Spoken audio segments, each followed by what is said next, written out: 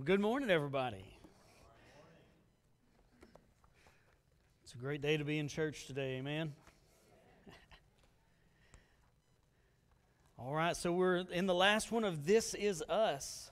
And uh, in this series, we've been talking about the vision and the purpose of this church and going through our core values. And so, if you're new here, this is a great time to be joining us to, to hear all of this. And uh, it, has been a nice refresher to uh, get back to the basics and just, uh, you know, remember what we're about. Remember why we come to church. Remember why we do what we do uh, in all of this. And so uh, it's, it's been a great series. Uh, I've really enjoyed uh, talking about it. And so our purpose here at Believers Community Church, if you can throw that on the screen for me up there.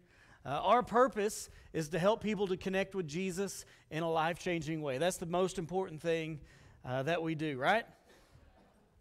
Uh, we help people to connect with Jesus in a life changing way, give them a place to feel like family, and find their purpose so that they can make a difference. And uh, I believe that as we keep that in front of us, that we can, uh, that, that God will use this church in a mighty way. Uh, and so, uh, but we've been talking through our core values. Uh, you know, number one is Jesus is our message. Jesus is our message. if, if Jesus is not our message, then uh, we're doing it wrong, right? Uh, we need to have Jesus, uh, what he did for us on the cross, because none of this is possible without Jesus, uh, you know, becoming human and uh, coming to earth, dying on the cross, and all that. So that, uh, but that is our message. That is what we preach. Number two is God's word is our foundation. I believe that the Bible is God's word. It doesn't contain God's word, but it is God's word. Every word in there is inspired by the Holy Spirit that was written down by man, and, and, that we need to have that as our foundation. We need to be in God's Word every day and, and studying and meditating and renewing our mind in God's Word because the way God has, uh, has us doing things is different than the world does, right? And so we need to learn God's way so that we can do it God's way. Last week we talked about uh, the next two is love is our response. Love is our response. What is that in response to? It's in response to God's love. It's a response to the, of what Jesus did for us. It's a response in making God's word our foundation. As we respond to God, our response should always be love. Now that's easy to do, right? No, it's not. That is not easy to do. But with the power of the Holy Spirit on the inside of us, and as uh, you know, we are uh, in relationship with Jesus, and we're renewing our mind in God's Word, and we have that relationship with God and He's renewing us, the Bible tells us that the fruit of the Spirit is, first of all, what? Love. That's the first thing that produces in our life is love, and that we can love with that love. Love should be our response. And number four is family is our heart. Family is our heart. I believe that the body of Christ is supposed to be like family. Now, I know some of y'all don't have the best family, you don't have the best concept of family, and so we're out to change that in your mind because family is there to support each other, they're there to lift each other up, to help each other, uh, sometimes to be there to say, hey, hey, dummy, you need to quit doing this. You know, uh, you know it, that's what family is for, is to be there to, to make each other better and to support each other, uh, especially in the hard times. And so family is our heart. So we're going to be talking about the last two today. Uh, number five is adding value is our responsibility. Adding value is our responsibility. See, we're talking about investing in people.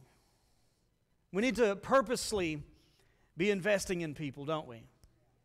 Because I believe that uh, adding value is at the very heart of the gospel. I mean, that's what Jesus did for us, right? Our lives were worth nothing. And he came and he added value to us. We didn't deserve that, but he came in and, and what he did for us on the cross added value to us. And now we're no longer sinners, right? But now we're righteous, we're holy. Are y'all with me today? Okay, just making sure. That's a good place to shout right there. We're no longer sinners, but we're righteous and we're holy. And it's all because of Jesus, and He added that to our lives. And so, adding value to people is at the very heart of the gospel. See, I believe that people should walk away better because they had an interaction with us. Okay? People shouldn't walk away less because they had an encounter with you, but they should walk away better. They should walk away encouraged. They should walk away feeling seen, feeling loved in their life. And so, adding value to people as it is at the very heart of the gospel. We should be in the, the, the business of improving people's lives. All right, but before we can begin to add value to people's lives, we got to have a heart check within ourselves. All right? See, first, we must see people as worth investing in. Okay? If you don't see someone as worth investing in, then you're probably not going to add anything to their life. Now, I know on the surface, there's some people that you'd just rather avoid and just like me, like, mm, you know, I'll let someone else deal with that one, right? But I believe that God brings people into our lives for a reason. I believe He brings some tough people in our lives for a reason because He wants us to add value to them. But if I never see them as valuable, then I'm never going to invest my time and what God has given me into them. And so we've got to learn to see people through the eyes of God. When He looks at me, He doesn't see me in all of my failures. He doesn't see me in, in, in all my past sin and all the bad things that I've done. That's the way a lot of times we look at people, right? We judge them based on their past, we judge them based on current things. But see, when God looks at me, as the blood of Jesus is applied to my life, he sees Jesus in me. And he loves Jesus, right? And he loves me. And so he sees me as valuable. I was so valuable to God that he sent his one and only son to die on the cross for me. The same thing for you. And we've got to learn to see people through the eyes of God instead of through our natural eyes. Because a lot of people will look at me like, they're a lost cause, sorry. But there's no lost causes to God. And we need to be willing to use what God's given us to help other people's lives better. All right? This is the, the concept that we talked about last week of honor. We talked about how we need to honor one another, and the Bible commands us to honor one another. And we said honor means uh, it, it, means something that is valuable or weighty. And so, if if uh, we are to honor one another, right? We need to see each other as valuable first, and then we need to look, if we truly honor people, we will add value to that the best that we can. And so, how do we add value to people? I believe that there's lots of different ways, lots of different areas that we need to. Uh, first of all, we need to add value to people spiritually. We need to add value to people spiritually. We need to be a spiritual influence in our lives. We need to be a spiritual influence in our world. Because Lord knows this world needs some spiritual influence, a good spiritual influence. How do we influence people spiritually? First of all, through love. I mean, if love is our response to what God's done for us in our life, one of the best things that you can do for somebody is to show them love when they're not being lovely, to show them grace when, when they're not acting right. That's one of the best ways that we do, because that's what Jesus did for us, right?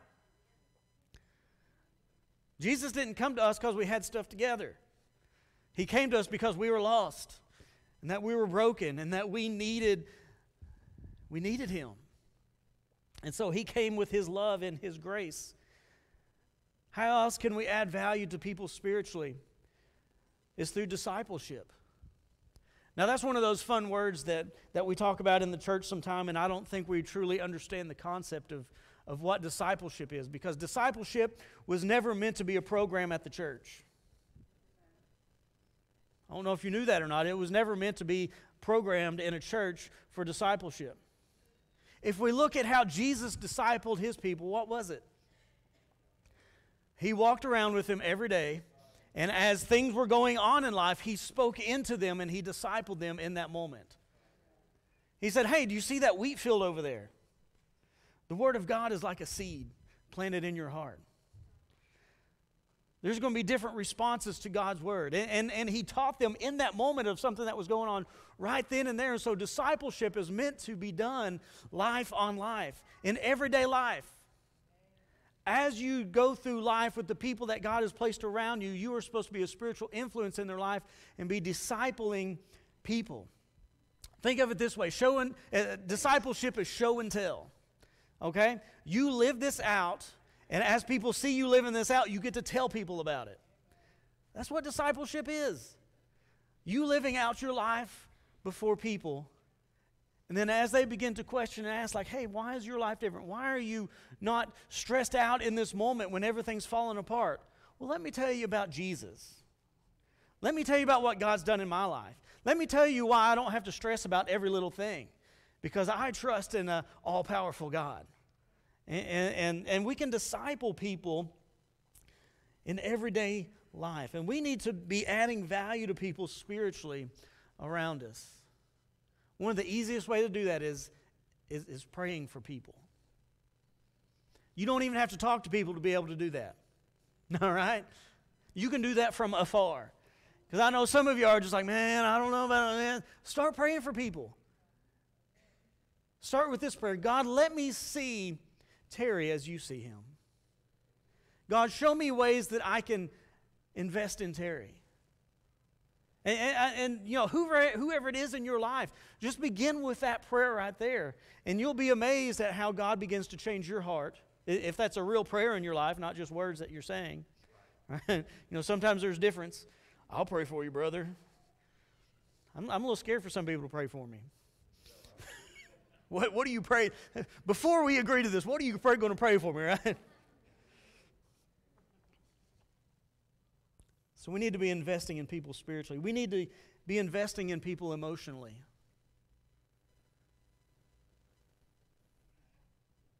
See, this is one that doesn't get talked about a lot at church. See, since COVID hit, there's been this big push talking about mental health and, and, and, taking care of yourself emotionally and all that. And, and, you know, when it first started, you know, I was kind of, you know, I'm, I'm a skeptical person by nature. And so, you know, anything new like that happens, I'm just like, whatever, you know. And just anybody else like that, you know, you, you know, they started talking about this. And of course, it goes to extremes, right? Uh, you know, there's universities that had cry rooms for their students to go and cry in. I, I mean, I, I don't know. It, it might have been really helpful for people. I don't know, but I mean, I can cry anywhere. and I don't need a, a special room for me to go in and. But anyway, but but mental health is actually a, a big deal, and it, it's one of the big things that uh, you know the world is talking about now, and and I think it is a good thing that we do need to learn how to take care of ourselves. You know, instead of just like, well, we'll, we'll just handle this, you know, but but actually take care of yourself emotionally. When I talk about emotionally, you know, we all have this inner dialogue that goes on the inside of us, don't we? Anybody ever just talk to themselves? I talk to myself a lot. You know, I usually try to wait till I'm alone before I do it, but it doesn't always work out that way. Uh, so if you ever hear me talking to myself, don't I'm not crazy. Well, not all the way. I was in youth ministry for 20 years, so there's a little bit of crazy there, but um, but we all have this inner dialogue that goes on on the inside of us. And, and, and just stop and think what is your inner dialogue about yourself? See, for a lot of us, we just think how awful we are. And, and we're very judgmental towards ourselves. And, and, and so, some of that is healthy, but it, a lot of times it goes way unhealthy. That we do need to judge ourselves, we do need to judge our hearts and look at things, but we don't need to be judgmental towards ourselves. And that we need to have a healthy inner dialogue within ourselves. And, and where we get that is God's Word, because there's not a lot of good within me naturally. But with God, He put a lot of good on the inside of me. And so I need to be having this be my inner dialogue instead of what the world's saying about me. I need to be saying, like, okay, God, you know, I, I know that I've failed on many things, but God, what are you saying about me? That I'm more than a conqueror through him who loves me, that I can do all things through Christ who strengthens me. I can do whatever God places in front of me because he strengthens me to be able to do that. I'm more than a conqueror. And, and we can have this inner dialogue of God's word on the inside of us, and that we need to be adding to that in people's lives. That we don't need to point out everybody's faults. Parents, we don't need to be pointing out all of our kids' faults all the time and begin inserting God's word into their life in those situations instead. We need to be speaking life to our spouses. Don't all the time just be bickering and fighting and, and nagging and all that stuff, but we need to be speaking life into our spouse. We need to add value to people emotionally. We need to add good into to their inner dialogue that they have going on in their life. We need to be careful with our words of what we're saying to people. Because life and death is in the power of the tongue, isn't it? And so, what are we using our words for? Are we using words to build up or are we using our words to tear down? We need to add value to people emotionally, speak life into people. How else can we invest in people? We need to do it physically by serving each other by meeting needs. You know, James talks about this. You know, if you see a brother and sister in need, and you just say, hey, be warmed and filled, and God bless you, and you go and do nothing, what good is that? If you have the means to help somebody, help them. See, here's the thing that we get into is that a lot of times we think that, well, if I give this stuff away, or if I give money away, or if I give my time away, then I'm just giving stuff away. But that's not how it works in the kingdom of God because nothing that I have belongs to me anyway. I am a steward of what God's given me. I don't even own my own life anymore. See, when I gave my life to Jesus, it's His now, not mine. And so I just get to be a steward over my life. And so everything that I have, I know that, that God has given to me. And so uh, God has given it to me just not for me, but for other people as well. And I believe the more that I'm willing to give, that God's going to give me more so I can keep giving out. And, and that's the process of sowing and reaping in our lives. It says, Give and it shall be given unto you. Good measure, pressed down, shaken together, and running over, so I can have a big bank account. No. So that we can keep giving out and we can keep giving out. And that we can invest in people physically by serving people, by meeting needs, by speaking life into people. And as a church, we, need, we do this through outreach. I, I, know the CR leadership team, they just did an outreach. They went to the laundromat and, and gave out hot dogs and paid for people's laundry. What a practical way to reach into somebody's life. Because a lot of times, the ones that are going to the laundromat, they don't have a lot. And they're spending their quarters right in the machines, and you're just like, I don't know if I want to put another quarter in this dryer or not. You know, and if we were there to pay for that and to, to love them and to spend some time with them and, and invest in them, let me tell you something the world's not investing in a lot of people. And that we need to be a force in this world for good and for love, and that, that the church should be known for their generosity. Well, that went over well on that one. But we do that through outreach, we do that through missions. See, when you give on Sunday morning, you know, uh, part of the money goes out to missions uh, here in this community. Uh, it goes out to missions across the world. And, and, so, as you are investing your money and giving money, and, in that you're adding value to people all over the world, that you have no clue, you might not ever meet these people. And, and you're, you're adding value to them in a physical way. And, and if you look at the, uh, look into the gospel, if, if you look into Paul's life, you know, a lot of times they would go in to a place. And we see this in missions. This is one of the, uh, the ways you do missions that you go into a place that maybe they've never heard the gospel or they don't have a church or whatever, and you go in and you physically meet some needs for them. Because that's the immediate thing that people notice. You know, if someone just comes in and just preaches something and leaves, and they're just like, okay, that was great you know, whatever. But if you come in and you give them some clothes and you give them some food to eat and you, you bless them physically, their hearts are open to the gospel then. Because you've shown your love before you tell your love. It's that whole idea of show and tell again, right? As we show our love to people, as we show Jesus to people, then they're going to be open and receptive to the gospel. Here, here in the next month or so, we're going to give you an opportunity to, uh, to sow into such a ministry. And, and we've done this several times in the past of, of giving you opportunities to, uh, to, to drill wells in other countries and, and, and villages that don't have fresh water. And, and uh, one of the projects that, that is near and dear to my heart is there is a, uh, a village in Honduras that is in desperate need of a school and a church. Uh, this is one that we visited several times down there. It's San Juan, uh, is the name of the village. And I mean, it's, it's remote. I mean, it's up on the mountain. Like, we drive, like, we're in the mountains already. Like, when we land in the capital city, we drive for like three hours to one uh, town. Then the next day, we drive another three hours up into the mountains, up in the middle of nowhere. And to get to this village, there's another hour and a half drive and about a mile hike to get to these people. I mean, they're out there. I mean, they, I mean, it's just out there on the side of a mountain. But they don't have a church. They have a Catholic priest that comes through about every three months. And that's it. These people are hungry for the gospel. In fact, when we showed up, we were one of we were the first um, foreign mission team to ever come into this village, and that I got to preach the gospel to them. And it was an exciting moment to see God begin to move and begin to uh, build relationships, uh, you know, with the people there. And, and God placed it on my heart that He He wants a church in that village, right?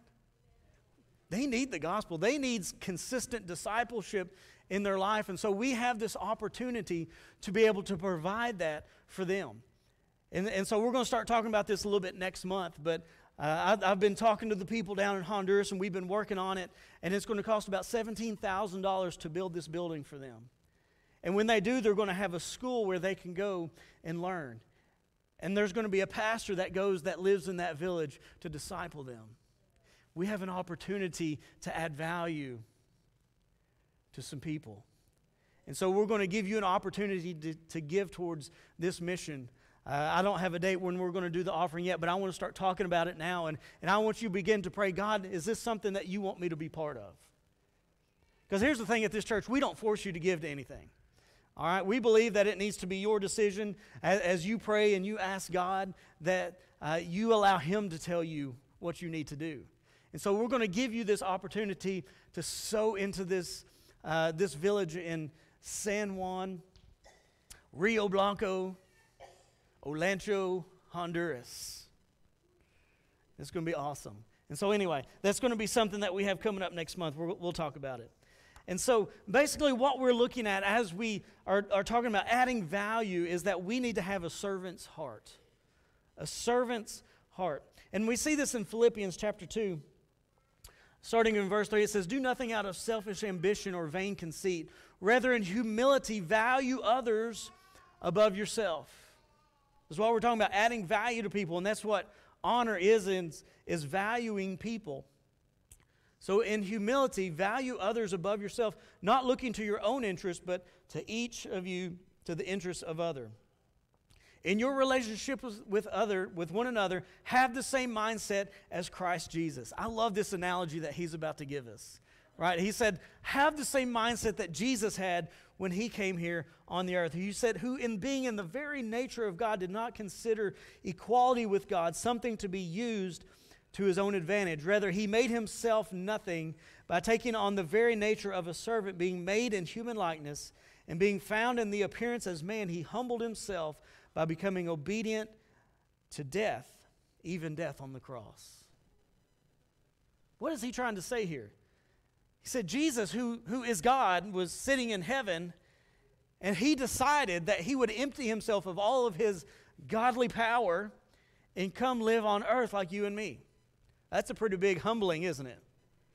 I mean, you're all powerful God to become like us, right? I mean, that's major difference there.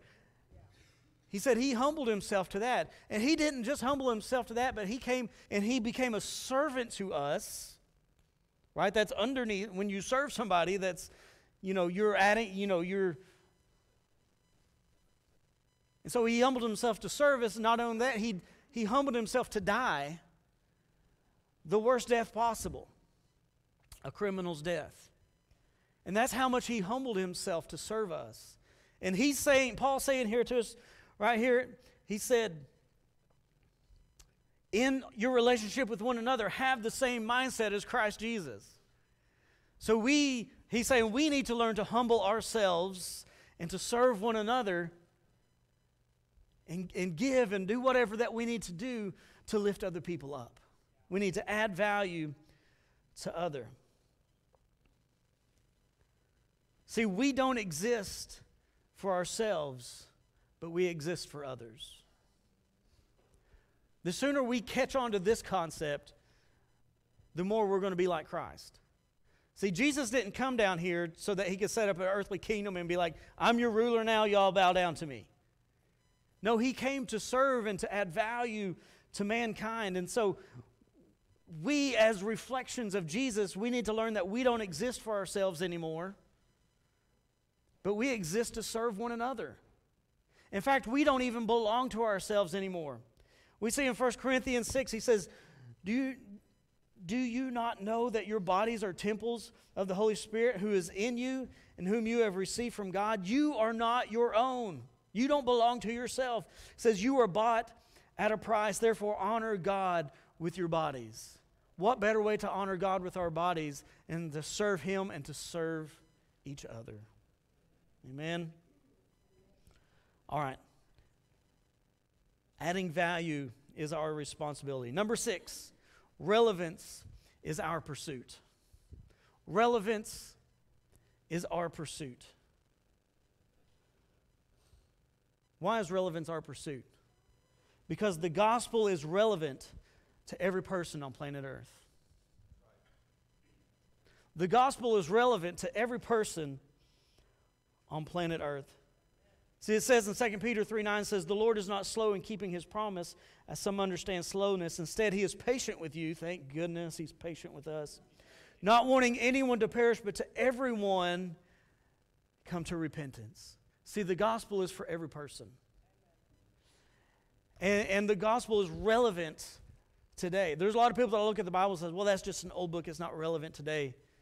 Oh, it's just as relevant today as it's always been. It's even more relevant today than it was back then. Why? Because we all need the gospel. We all need Jesus in our lives. The reason why relevance is our pursuit because this world needs Jesus and Jesus is hopefully found in this church, right?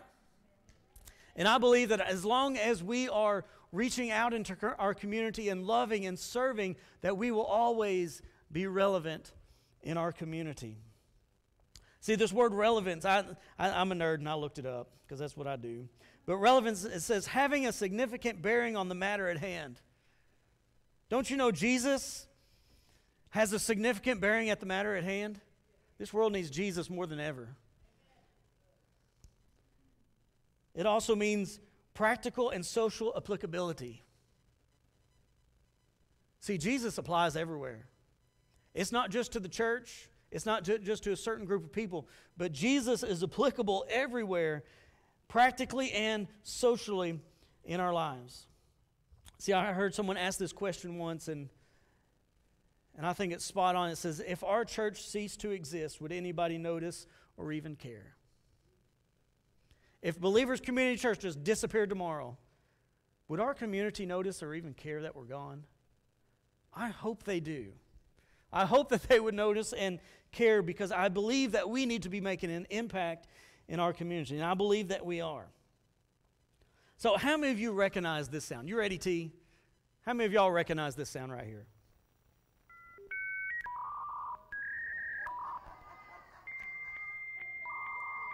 Isn't that an awful sound? Oh, it gets worse. Yeah, there you go. Oh. Ooh. Some of you are laughing because you know, you've been there. Others are just like, what? It's a bunch of noise right there.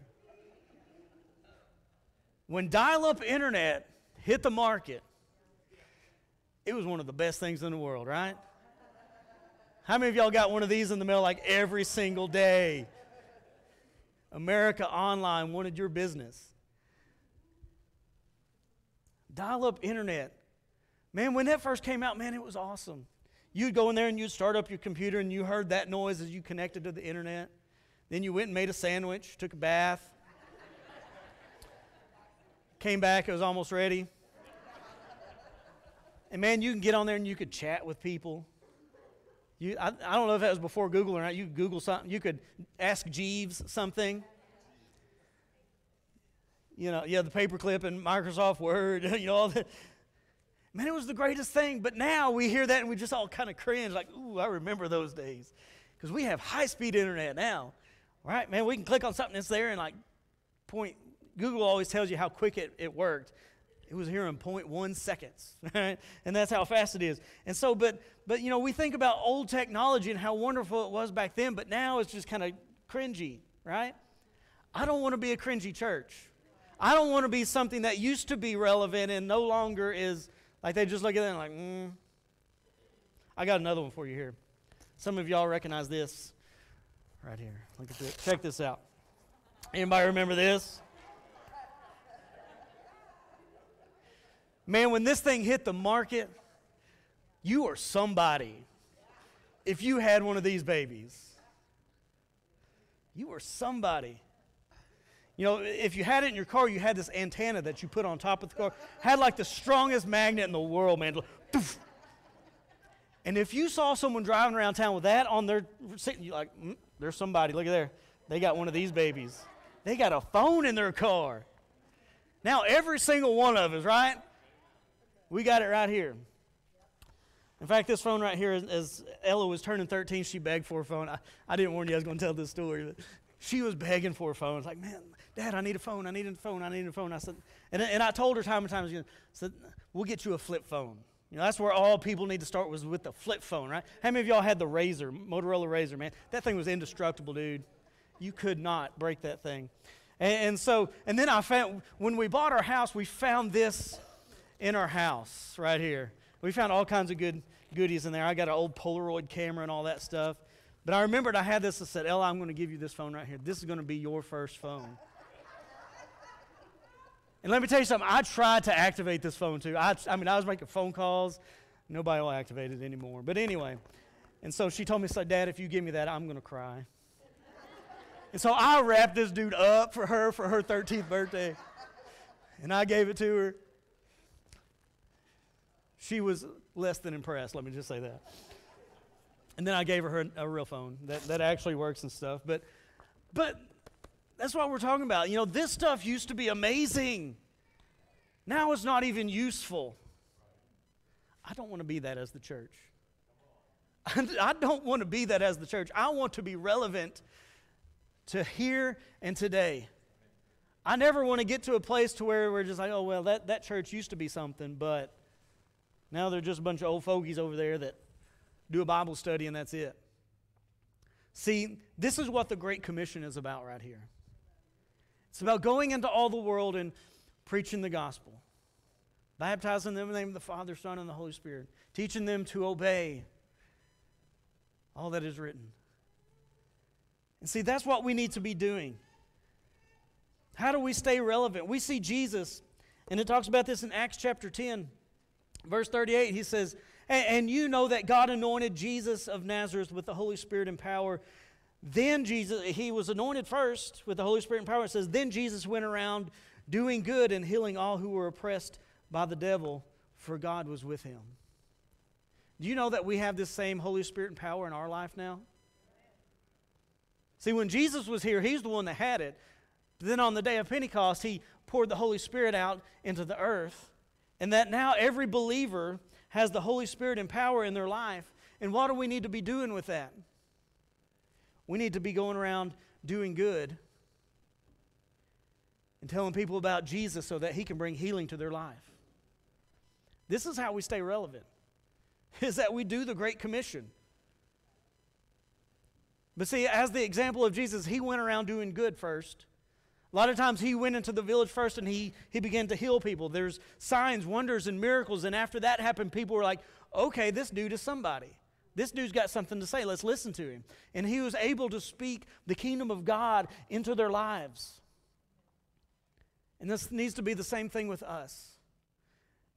Is that we need to, if we want to stay relevant, we need to be going out and doing good and bringing Jesus to this world so that there can be healing in this world. And we do it all through the Holy Spirit and the power that He has given us. See, we add value to people. By adding value to people, we stay relevant. By adding value to people, we stay relevant. These two go hand in hand. And this is our reach out that we talk about in our mission statement.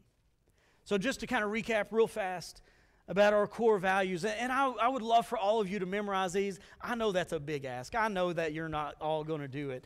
But I, I believe that these are some things that not only we need to believe as a church, but as individuals, we could live these out in our lives. And I believe that we would be fulfilling the gospel in our lives. As number one is Jesus is our message. Jesus is the number one thing. If we ever get away from Jesus, we're getting away from the gospel itself. Number two is God's word is our foundation.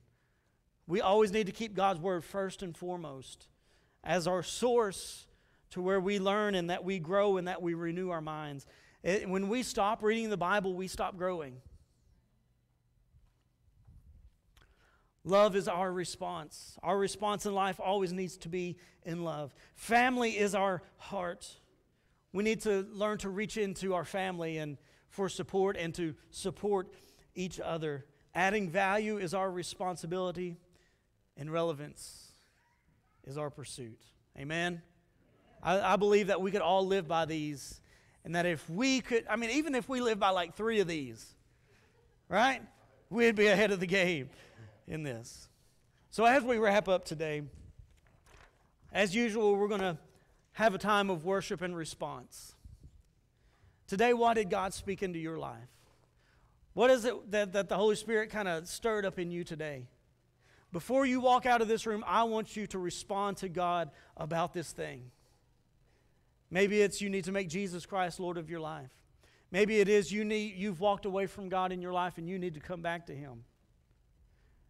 We're going to have our prayer team up here. Come and pray. The altar's open. Come. If you need to kneel before God and give something to Him, here's an opportunity to do this. I want you to respond to God in this moment. Let's get to our feet and let's worship.